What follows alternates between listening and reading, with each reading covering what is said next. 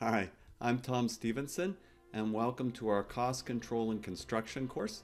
This is Lecture 4A, and in today's class, we're going to be looking at measuring construction progress to meet project goals and effectively replan the work.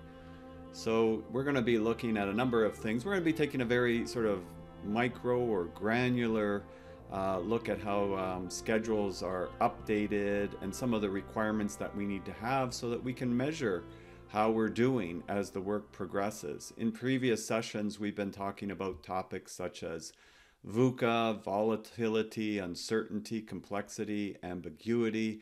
We talked about the Pareto principle, the 2080 um, rule, 20% of our um, project success, or basically 80% of our project success is going to come from 20% of our focus in some of the difficult activities, let's say. Um, but there's a lot of other ways that the Pareto principle can also be used. We talked about the aspect of requiring focus and with all the distractions that we have in our current work environment, how we need to develop certain habits and principles and routines that will help us um, focus on something that's really important to being successful, which is really understanding how you're doing as your project moves along towards that line of uh, completion. And so today we'll be also, uh, as I said, looking at it from a granular point of view and also uh, looking at how we can measure uh, and view our project from a higher level. Uh, so we'll be sort of uh, bringing in several tools that help us that way. So in lecture 4A, we'll be bringing in the direct method uh, that I've kind of developed. It's really sort of a six step process and a way of thinking about projects. And in the lecture 4B, we'll be sort of doing a very high level view because I think it's important not to get stuck in the weeds. Uh, to remember what our overall or overarching project goals are. But at the same time, we can't forget the weeds because if we forget the weeds, they kind of take over. Um, so we'll be looking at it both ways. So when we think about measuring construction progress, uh, an effective project management system needs to fall in line with these constraints slash goals that we've talked about earlier in the course. Particularly, we talked about um, the five constraints of cost, schedule, quality, scope, and we also had safety in there. For the purposes of cost control right now, I'm not going to include that there. Oh, I've actually got it down here and risk. Risk was where we brought in the elements of VUCA. Um, so these are all areas that we need to consider in a project management uh, uh, system. And to be successful, we really needed to address these from very early on in the project cycle. Um, so really, um, for co cost control and specifically to be effective, um, we need to address uh, setting and recording a baseline a cost baseline that we can measure against. And in the previous lectures, we started to look at uh, work breakdown structure and breaking something from a high level down into more levels of detail, coding it so that we can identify with it, and then being able to follow along on the details. And so, really, that requires being able to measure it in a timely fashion. We kind of talked about the difference between cost reporting and cost control. And cost control needs to be more timely uh, in measurement so that we can compare the baseline to what's actually going on in our project. And we have an adequate time that we can start to apply that knowledge in reiterating the project. And that's really what happens, right? Uh, the original plan usually doesn't um, stand all the way through. We've got to iterate as we go along, adjust, pivot, uh, be agile. So that recovery aspect. Recovery of time, recovery of money comes into play in a big way. Uh, so Peter Drucker famously said, and Peter Drucker was a, a very um, knowledgeable individual that really sort of um, wrote a lot on uh, management and was a professor uh, that really sort of studied uh, progressive management practices for probably over 60 years. And uh, he wrote, If you can't measure it, you can't manage it, and really wrote the book uh, Management by Objectives or Goals. And so that brings back to what we talked about with SMART goals. And so with cost control, we've got to have it that we can measure it. If we can't measure how we're doing, uh, we really don't know how we're doing. So we've got to be able to break things down that we can measure it. And in construction, that's all the more important because construction projects can be so large and at the same time so granular and detailed. So we've got to make sure that we can actually um, measure it to see how we are actually doing. And as I mentioned, um, understanding that whatever plan that we have in place, it's probably not going to measure the way that we plan. There's going to be some variances in that. And that's the term we use in managing this project is cost variances and schedule variances comes up. Uh, most software, that's how it refers to it. Uh, Microsoft Project being one example, Primavera being another one in construction. So there's a lot of factors that we need to consider. Also, the accuracy of the data. And it's important that the data is accurate. I gave an example in the previous lecture about uh, where um, costs were applied inappropriately to something else, and it almost canceled the whole college program as a result of it because you're looking at data that wasn't factual. Uh, in that example, uh, people were assigned to a particular college program, and that college program then looked like it was losing money, when in fact, another program looked like it was making lots of money. It gives you the incorrect information, it gives you incorrect signals, and that's dangerous too if you start acting on incorrect information. Also, in construction, if we're not really following the data, we might make certain assumptions. Oh, this is where we lost all the money. Maybe, but maybe not. Um, so you want to have some sort of method that's going to give you reasonable amount of accuracy. I don't mean that you have to be like within just a few dollars, but at least if you have a reasonable understanding of where the money is being made, where the money is being lost, what's pretty much on track for the way you planned it, that's helpful. That's really helpful. And is it usable? Like, how often will we be collecting this information? You know, if we're collecting it every minute of the day, maybe we're not, we're so busy collecting information, we're not actually doing anything.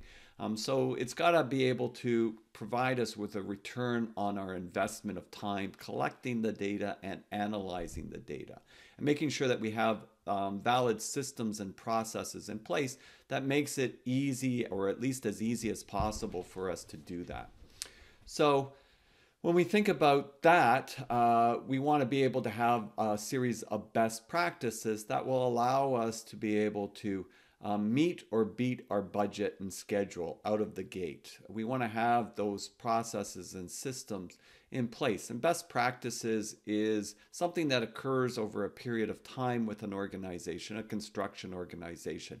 You know, you start out small as a construction organization, you start doing things and probably you don't have a lot of time for systems. You're just trying to get jobs done. And as the business grows, then you adopt systems because you need to adopt those systems in order to be successful uh, because you're growing the company, you're adding people to it. It's harder to manage those uh, people if you don't have systems in place that tracks what they're doing and holds accountabilities in place. Uh, so you don't want to get into a situation where you lose control of your projects and systems um, can definitely help you uh, and uh, ensure that you're able to repeat those systems in the future. Um, so I think of uh, uh some books that I've read on uh, poker.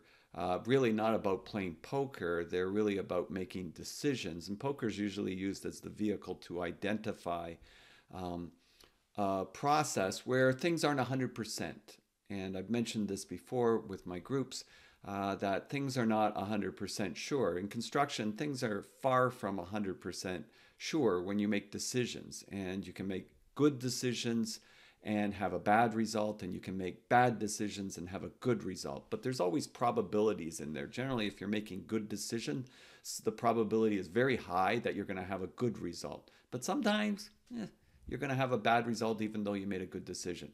Bad decisions, the probability is probably more likely that you're going to have a bad result. Um, but sometimes you do a bad result and you get lucky. Uh, that happens maybe more often than I'd like to think in construction. So we have a lot of people out there that are making continuous bad decisions until a catastrophic result occurs, which is never a good thing.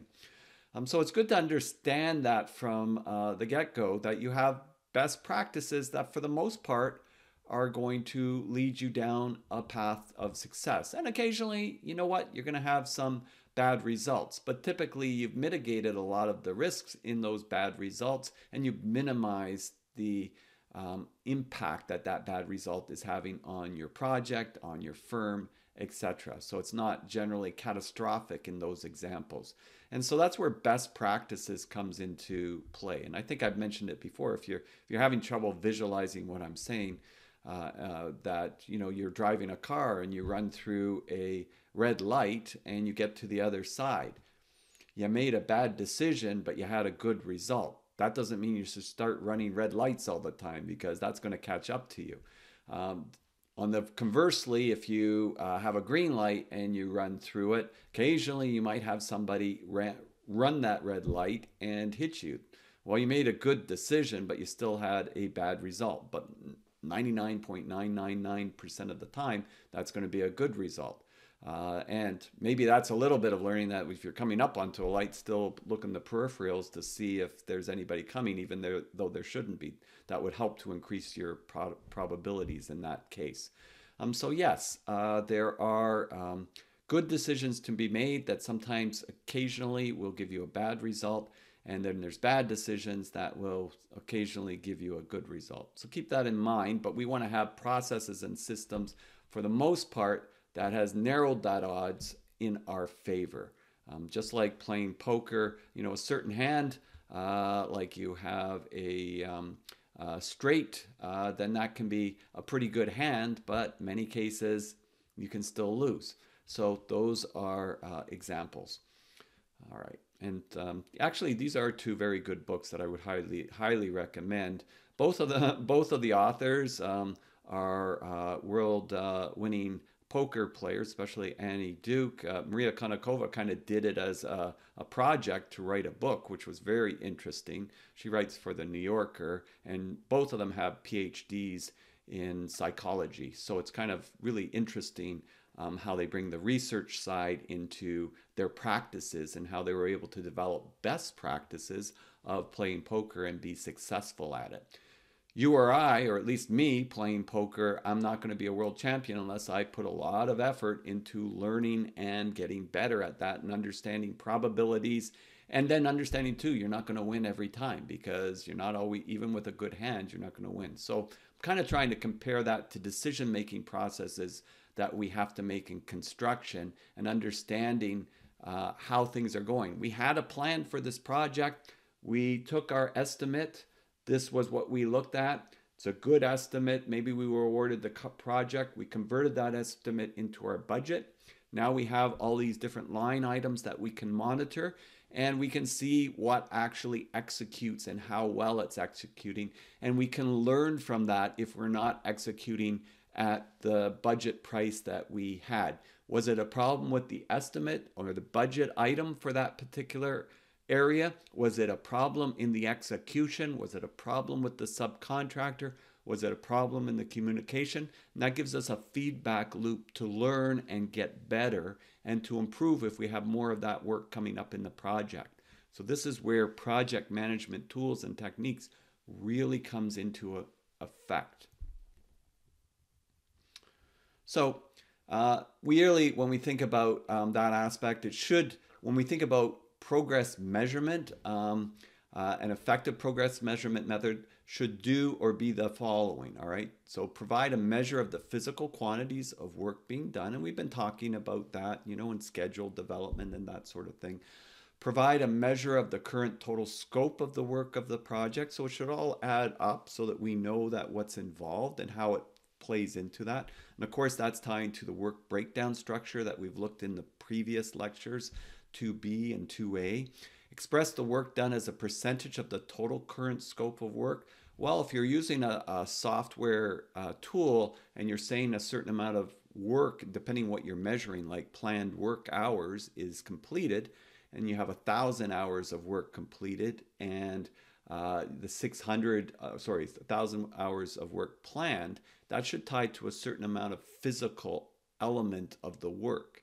And then you're going to be asking yourself, well, now what total physical element of the work have we got done at this time period? And how many hours has that taken?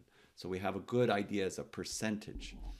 Uh, really, be giving us, uh, you know, not opinion based, but uh, really measurable uh, so that you're not sort of being overly optimistic or overly pessimistic with the interview, with, with the measurements. And that's again is where um, measuring from a point, a unit of measurement point of view is very, very helpful, as we'll see. So being realistic uh, from that perspective of updating and seeing where you are is important. That's where physical measurement helps, and that's where we go back to management by objectives and Peter Drucker, Drucker saying if you can't measure it, you can't manage it. If I really don't know what what stage we're at on this project, it's hard. And that's again getting the right level of detail in the work breakdown structure.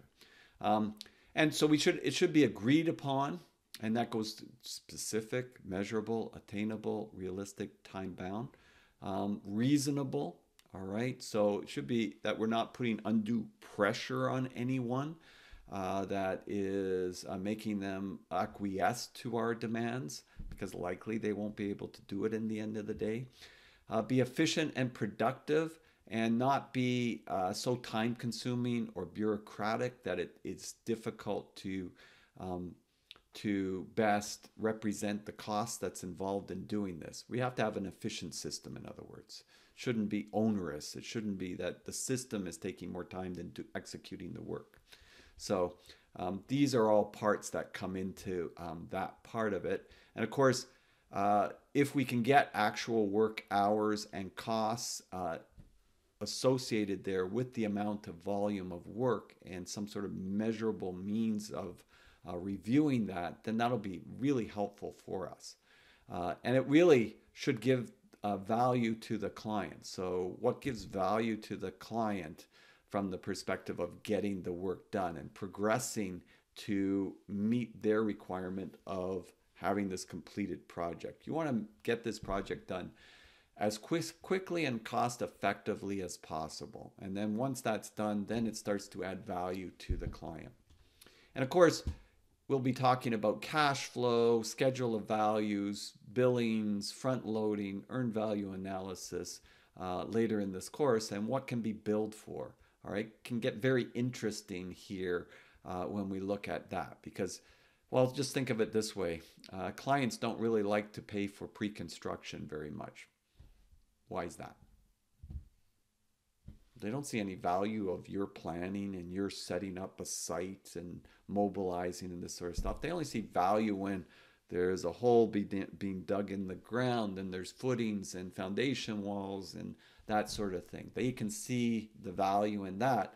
The other stuff, they don't see any value in it. So this gets interesting later on when we talk about cash flow and schedule of values, payments, uh, some of the issues in the industry, front loading, etc. So, systems thinking, uh, I just want to run through sort of uh, a process uh, that you can think about for scheduling. And I'm going to take a very granular view. And there's systems in everything. Every, you know, everything that you interact with pretty much has, if it's done well, has a system um, involved in it. We have a justice system, right? We have a process um, for people to seek justice, whether it's in civil or criminal. We have telecommunication systems that are in place that allows us to do this that we're doing right now. Um, we have construction infrastructure systems that allows us to build our buildings, to run our buildings, to run our transportation systems, etc. So you get the idea. So we should have systems in place that allows us to be able to run and manage our projects effectively and to control effectively our costs, our schedules, our quality, uh, all of those elements.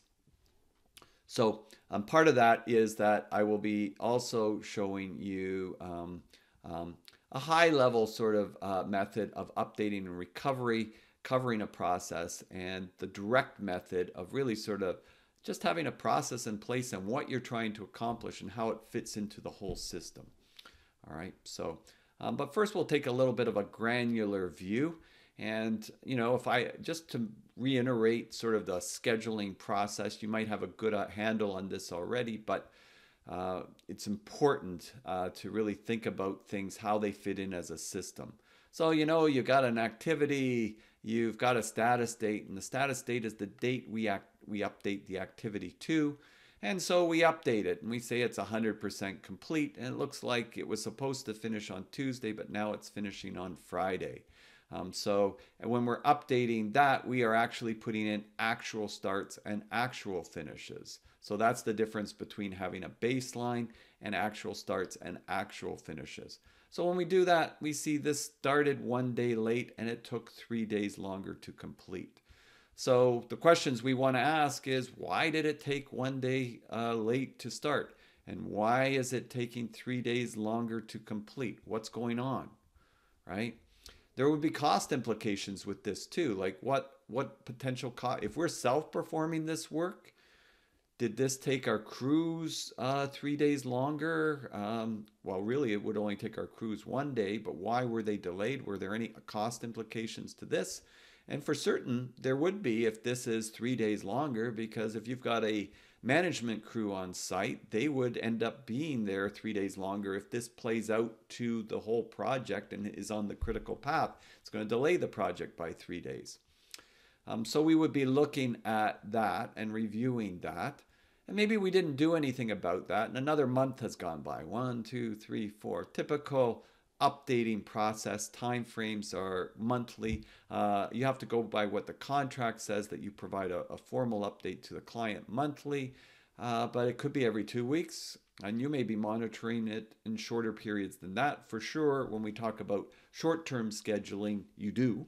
Uh, but on the master schedule, typical is monthly. And so that you can sort of see what's been going on in the past month. You would want to find out what happened in the last month. You would want to update your activities with actual starts, actual finishes, or any changes that might be going on in the project and input all that information in whatever way possible, uh, depending on your systems, and show the impact of actual starts and actual finish dates here. Now, if you have those actual starts and actual finish dates updated, then what you would want to do is check and see, well, all right, great, we updated it, but what's what is the impact it's having on our project? Like what's happening? Well, we went what we can see here is we went from 3 days behind schedule to 8 days behind schedule. So in the last month, we've actually increased by 5 days. So now we're currently 8 days behind schedule. Now, if I had input this in a schedule and I was monitoring my um, individual resources, I could actually see the variable cost impacts on this. For this example, in this um, lecture, I'm just going to look at it from the time perspective. Uh, we'll be looking at it then from the cost perspective as well, because they both have implications. But for sure, I'm going to have, if this ran to the end of the project, I would have my variable costs would be upped by eight days. So if I had a site super on the project and a PM uh, there on the project, uh, that would be eight days of extra costs for them.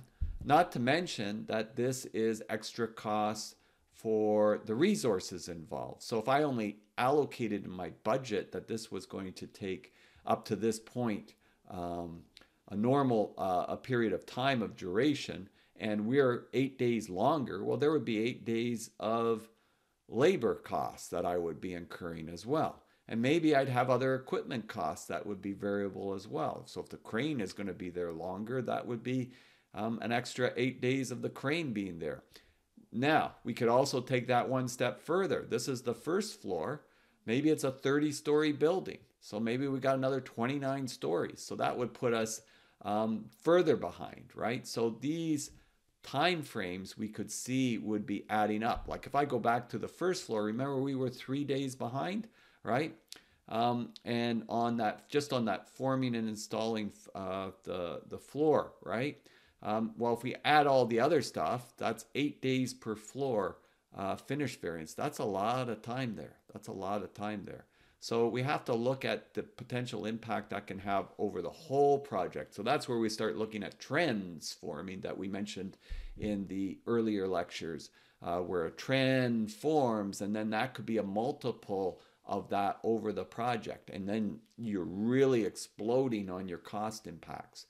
Now, trend does not mean it has to happen. We did, just to reiterate Stein's law, a trend will continue until it stops. Well, that's our job to try to make this stop. And that's what cost control is all about. That's what schedule control is all about. So in that case, we want to take a look at this and we want to look at how do I get this time back, right? And so we're going to take a sort of step-by-step process at that because we can see where we lost it. Well, now we want to look at how we get the time back. So getting the time back is forward looking. Updating it is backward looking. So we're looking at history, right? So getting the time back is forward looking. That's what we want to do now. We want to do a recovery of the schedule. So we updated the schedule. We know where we're at. We're eight days behind. Very important to understand that in a timely fashion.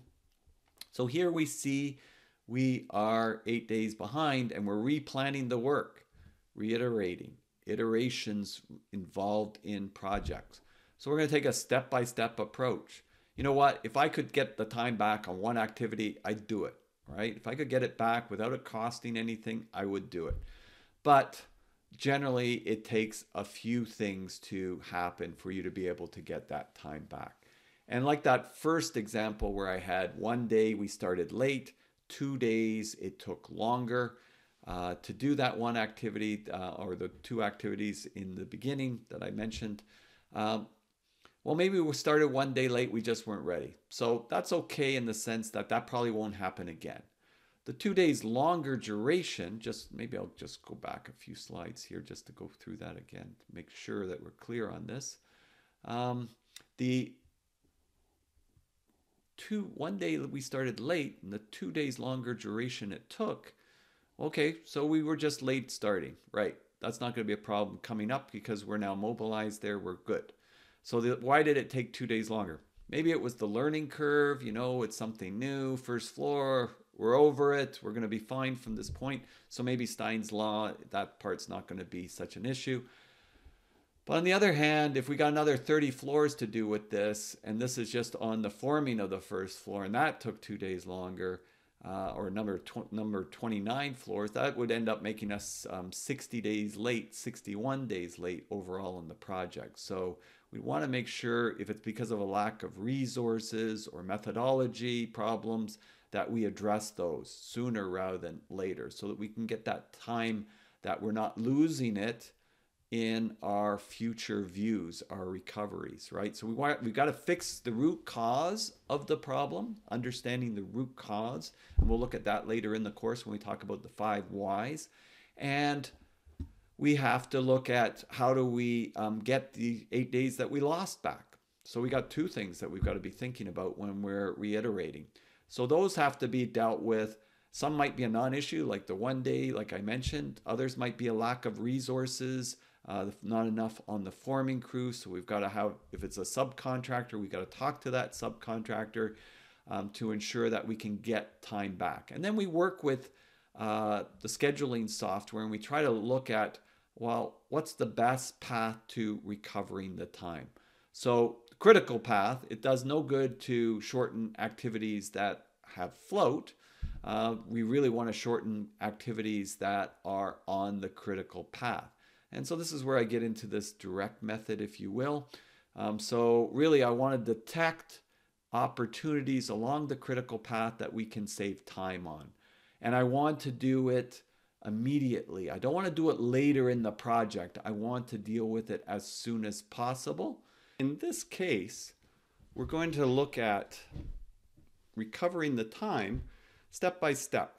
So here you can see it is the variance goes from eight days to seven days, and that could be done by shortening the duration. Well, the only way you really shorten the duration is if you've if this was a subcontractor and you've discussed with them bringing in more resources because it's taking too long uh, and they've agreed to it and now you've agreed that the duration can be sh uh, shortened, then that would have an impact on that. So that would help you to shorten that. And perhaps you've also had a discussion about uh, basically overlapping these two activities. So if you feel that these can be overlapped and there's effective resources, then that might be another solution to be able to um, shorten the time period and bring it down another two days. So you might have shortened the duration and you might have given a negative lag here, and that would give you two days. So it's sort of step by step looking for how you can get the time back. And as I said, you're looking for the, the no or low cost solution, but maybe you've determined, well, the only way that we can do this also is by to help get the time back for now is to work a weekend. So you change your calendar so that you make this Saturday and this Sunday a working uh, working days, and now that's going to shorten it a further two days. And you also look at so that's saving you another two days. And then you also look at pulling this back with a negative lag and shortening by one day one of the activities again. So you end up going from eight days to seven days to five days to one day, and then you're finally back at zero. So it took maybe four or five different things in order to make that happen like I said, if I could just do it on one thing, I would do it, you know, but it just depends on your project. And I'm trying to point out that it can be more complicated than just a quick fix. Uh, but if you have got the buy in of that subcontractor on this and they're agreeing to do these things, uh, then you're a long way towards the path of being successful. And so we can sort of, if you started thinking about processes and systems of how you do things, then it becomes easier to um, develop a framework for how you approach your cost management and your schedule management processes. So we can sort of put what I just said into a methodology. All right, and I tend to call this the direct method, and it's a six point process that is encompassing a bunch of things. But all these things are being built on what we're learning in this course and maybe what you've learned in other courses regards to project management, planning, and scheduling. The first one is well, we have to have developed a really good plan and schedule and know where our costs are being assigned and work through it. So we've got a baseline structure, a baseline schedule, baseline costs, uh, and so we know what we're trying to compare to. If we do that, then once we update, we can detect opportunities along the critical path. Because if we're trying to get this project done on time and on budget, well, we definitely should detect opportunities along the critical path. Like I said before, saving time where there's float isn't necessarily going to help us get back on uh, time on our project. Um, so we definitely want to look along that path we want to look sooner that rather than later. There's no point in saving time at the end of the project. Why is that? Why do you think that is? Well, if you save time along the end of the project, when you get to the end of the project, when new stuff happens, you're going to be stuck. So you definitely want to save time along uh, that route because you know as soon as possible because later on if you're taking time like say you you notice oh in uh, punch list and deficiencies we've allowed two weeks. That's easy then. We'll take out one week from that. Well when you get to the end there'll be so much in deficiencies and punch lists uh, you won't be able to get it done right? So you want to get it out sooner rather than later. So that's the immediate savings the i and direct the R is look for the no or low cost solution. You're looking to reduce or eliminate costs, extra costs. So anywhere that you can squeeze out savings, that's very important. So whenever you're looking for ways to shorten the schedule, you're also looking for ways to recoup uh, any extra cost overruns that you've had. So for example, if, if the project's running eight days longer, and it costs us $10,000 a day to run our project, our infrastructure, our management systems, our financing on this project. It's costing us $10,000 a day. If we're able to bring it back eight days, then that's $80,000 in savings right there, just looking at the per diem cost of running your project. So you may have even in some cases uh, where you might see, well, we can get the eight days back, but it's going to cost us 15,000 in overtime well that's probably a pretty good investment right because you're getting back 15 you're you're saving $80,000 and you're spending 15 so that's a savings of 65 from your cost overrun that's a pretty good start Um, experiment. That's the nice thing about uh, having a cost loaded schedule. You can kind of experiment and you can do a sensitivity analysis. You can play with it, right? You could do a save as on whatever you're working and you can just try, knock yourself out trying different scenarios and looking at that and reviewing that. And it gives you a good sort of sense of what's going on. So that's the nice thing. If you had a good sort of cost loading to begin with from a budget, from the estimate, and you've got realistic time frames, then you can start adjusting, playing, iterating, uh, seeing what might be the best plan. Now, I can always get a schedule to get back on track, pretty much, unless it's like ridiculous or it's too late uh, on the software. But can I do it in real life? Well, that's another story. I've got to, if I'm looking and I see, like I just did, those four or five things that we did to get the time back, if I'm seeing that that is um, uh, working on a schedule, that's great. But can I get the people that are supposed to be doing that? If that forming sub says, we're not working weekends, we don't work weekends, my plan is no good. So I've got to make sure I get the commitment of those people that are involved, the subcontractors or any individuals too. Uh, you know, you got a shipper for a particular supplier that needs to um, get something delivered to your site. Well, if that's part of your plan and they're saying it's a no go, well, your plan's not going to be very good. So you got to get the commitment of the people that are involved in this replanning of the work, just like you need the commitment in the original planning of the work for it to actually happen. But if you do get their commitment, now you're getting along that path right? Now it's becoming to be it's beginning to become clear. And hopefully you're seeing how this fits in with SMART goals, right? Specific, measurable, attainable, realistic, time-bound commitment. So that's fitting in there. And if you do that, you know what? If you do that, then the team is going to feel like it's a win. You've got to, things happen, you're getting yourself back on track. Next month, something else is going to happen, you're getting yourself back on track. So then you start to become a little bit more resilient to these interruptions in the flow of work because you're able to reiterate and replan the work and get yourselves back on track. And it's not like, oh, you know, you keep getting worse and worse and worse. You're keeping it under control. You're keeping the variation contained.